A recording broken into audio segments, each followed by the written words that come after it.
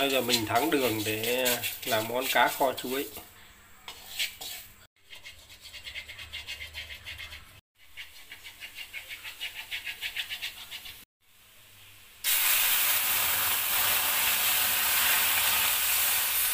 Đây là chuối tiêu và nghệ và gừng. Mình sẽ cho chuối gừng vào. Đấy, và mình sẽ cho cá rô vào.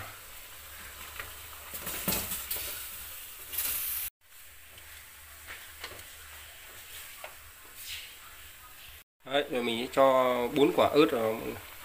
Bốn quả ớt.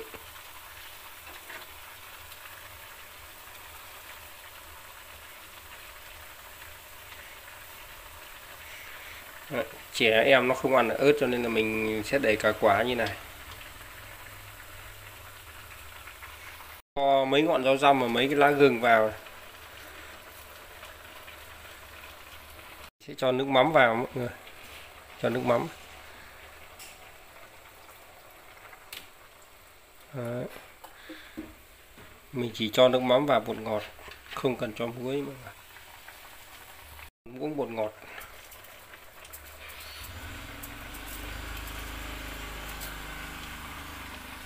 Mình sẽ cho thêm ờ, một cốc nước nữa này. Đấy, bằng này nước. Giờ mình sẽ đậy vung vào kho liên tục trong 2 giờ sẽ được món cá kho dục phi rất ngon luôn.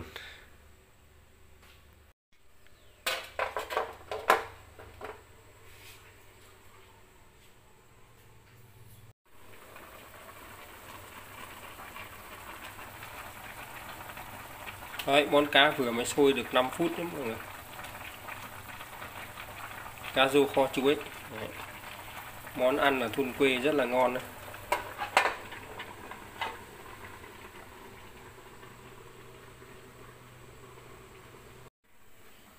Đấy, 30 phút sau mọi người.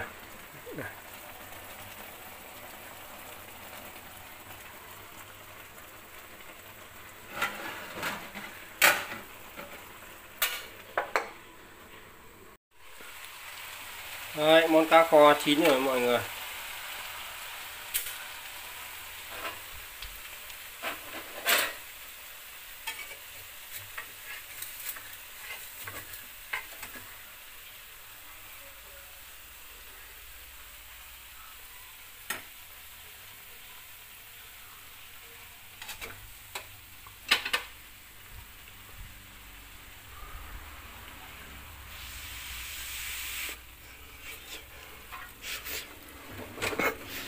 Ừ, ngon